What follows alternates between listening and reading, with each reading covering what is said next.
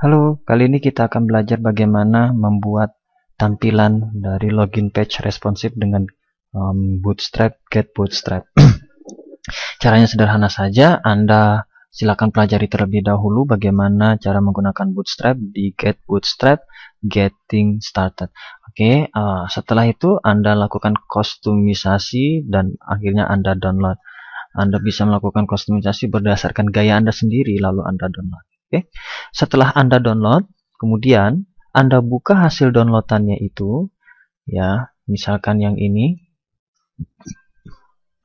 atau yang ini saya, saya mendownload dua kali dengan gaya yang berbeda, lalu Anda punya file seperti ini. Oke, nah, file ini kemudian saya copy semua. Oke, sebentar. Saya copy semua Lalu saya buat sebuah folder baru. Ingat, di sini saya mengasumsikan Anda menggunakan SAMPP sebagai server di laptop Anda atau di komputer Anda. Dan juga Anda telah memberi nama um, folder code igniter Anda dengan nama tutorial code igniter seperti ini ya. Nah, lalu setelah itu Anda buat sebuah folder baru, kita beri nama assets. Oke. Lalu letakkan yang tadi Anda copy ke dalam folder assets. Nah, setelah selesai, maka Anda akan melihat dalamnya seperti ini, dan yang fonts itu seperti ini, dan yang JavaScript-nya seperti ini. Oke, nah selanjutnya adalah seperti yang telah dijelaskan pada Bootstrap bahwa Bootstrap itu menggunakan jQuery. Jadi Anda harus mendownload library eh, dari jQuery. Anda silakan buka versi terbarunya. Saya di sini menggunakan jQuery versi 1.11.0. Jadi saya save. Saya akan letakkan di dalam um, aset code igniter yang tadi kita telah buat namanya tutorial code igniter. Oke. Okay. Letakkan di dalam aset, lalu letakkan di dalam CS dan kita save. Seperti itu. Nah, setelah selesai kita save, langkah selanjutnya adalah saya ingin membuat tampilan seperti ini, tapi saya tidak mau ada remember me. Oke, untuk sementara kita uh, tidak menggunakan remember me akan ada kelanjutan dari video ini jadi um, untuk sementara kita tidak menggunakan remember me. Di saya cukup dengan cara memberikan uh, kode ini. Saya copy sederhana aja. Lalu saya buat ingat seperti apa yang telah diterangkan um, pada bootstrap bahwa Bootstrap itu menggunakan HTML5 dengan standar ini wajib harus Anda gunakan. Meta, UTF-8, terus kompatibelnya ini dengan IE yang terbaru artinya, terus dia menggunakan viewport seperti ini, lalu judul bisa Anda ubah-ubah, dan kemudian adalah link CSS dari bootstrapnya. Oke, nanti kita akan buat itu semua, dan ini standar ya. Lalu kemudian bagian yang ini tidak baku, sedangkan bagian yang ini bisa Anda ganti-ganti tergantung dari pemilihan jQuery-nya dan ini adalah Bootstrap jQuery Java hmm, Bootstrap JavaScript jQuery-nya. Oke, sekarang mari kita uh, mempraktekannya. Seperti apa yang tadi saya kita sudah lihat bahwa saya mengcopy kode ini, kode dari uh, login page-nya jadi saya copy, Ctrl C, lalu saya ganti ini. Hmm. Kemudian saya rapihkan, saya lebih suka kalau ini terlihat rapi karena lebih enak dilihat. Oke. Okay.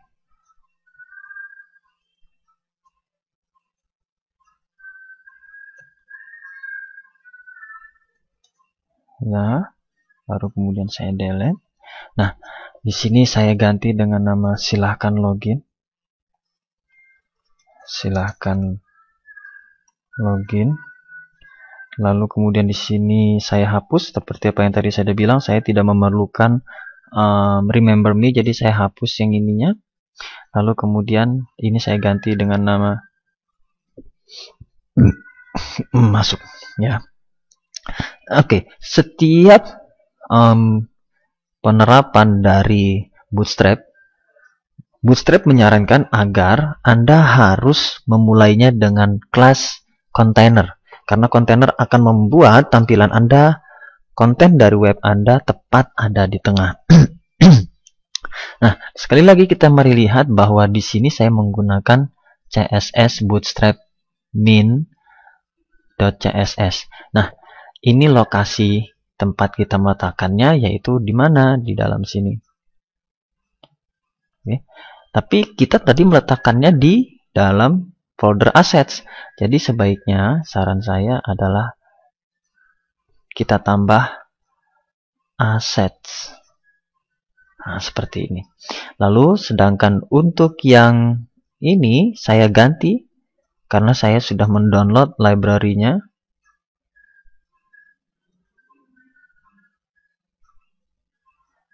Oke. Ini saya download tadi assets JS Oke, assets JS. Lalu ini saya beri nama tadi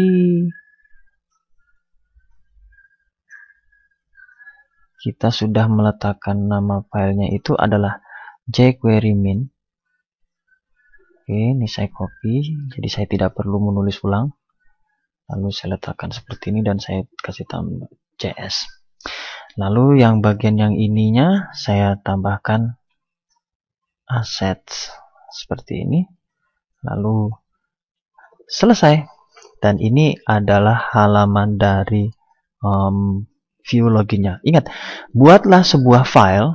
Saya hampir lupa sebaik Anda harus membuat sebuah file yang bernama view login oke okay. view login ini Anda letakkan di dalam folder views oke okay. ini caranya adalah di dalam um, folder tutorial code igniter, Anda buka application, lalu Anda arahkan ke views, uh, maka Anda akan melihat seperti ini.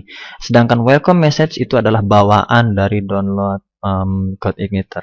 Dan ini adalah view loginnya. Oke, kalau kita run, aksi bukaannya akan seperti ini ya. Kemudian ini saya kasih nama uh, login page responsive. Halaman login responsif. Nah, seperti itu ya. Oke, terlihat semuanya bagus. Oke, supaya kita jelas bagaimana hasilnya, mari kita tes. kita buka application, lalu kita buka controller, lalu kita buka welcome. Di dalamnya itu bawaan.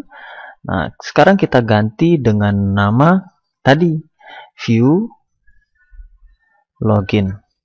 Oke, okay, karena nama file kita adalah view login. Nah, sekarang pastikan bahwa sampipi Anda bekerja. Oke. Okay.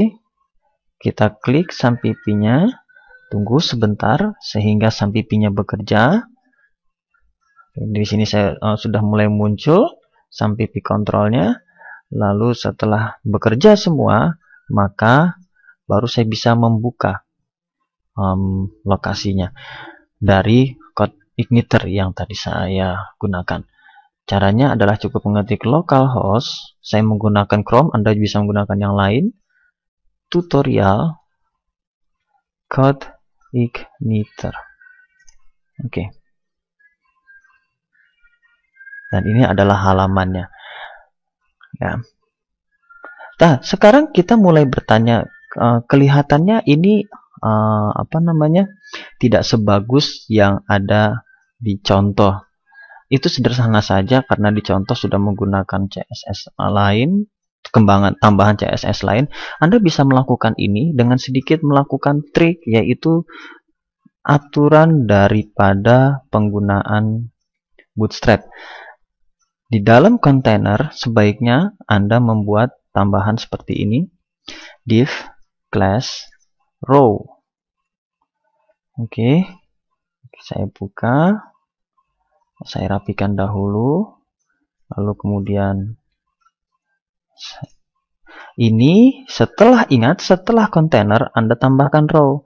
Baru setelah row Anda tambahkan kelas dari ada banyak.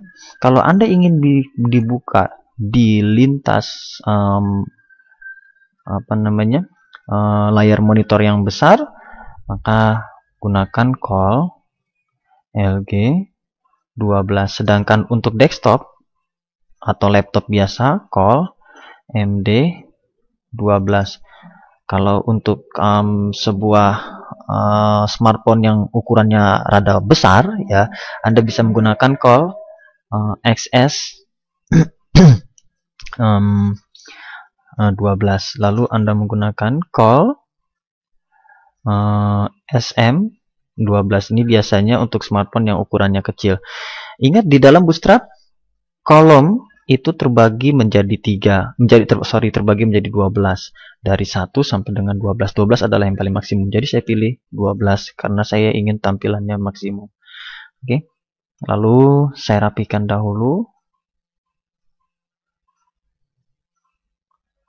Oke. Sekarang mari kita run. Hasilnya kita run. Saat ini Anda belum mendapatkan hasil apa-apa. Mengapa? Karena eh, lebarnya mencapai 12. Jadi ini kolom maksimum. Jadi supaya kita ingin membuat dia itu mengecil, caranya cukup sederhana. Yang perlu Anda lakukan adalah Anda bisa mengecilkan ini.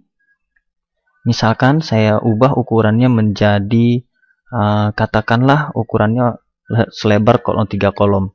Jadi saya bikin call um, 4 kolom ya selebar 4 kolom. 4 4 4 kemudian saya run. Nah sudah mulai mengecil. Tetapi kalau kita perhatikan dia adanya di sebelah kiri. Bagaimana cara meletakkannya? Maka ada namanya fasilitas kelas yang namanya offset. Oke okay, namanya offset anda bisa melihat bagian tutorial itu pada komponen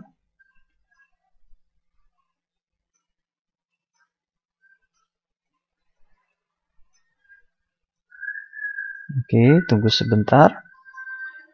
Nah, di sini ada uh, sorry maaf, ada di CSS. Di sini Anda melihat grid system. Anda buka. Oke. Okay. Kemudian Anda lihat tutorialnya, uh, penjelasannya bagaimana menggunakan kolom offset. Nah, jadi Anda cukup menambahkan apa yang Anda pakai kalau LG maka call LG offset. Nah, saya praktekkan. Jadi saya ingin dia diarahkan ke agak ke pinggir. Saya beri nama call lg offset.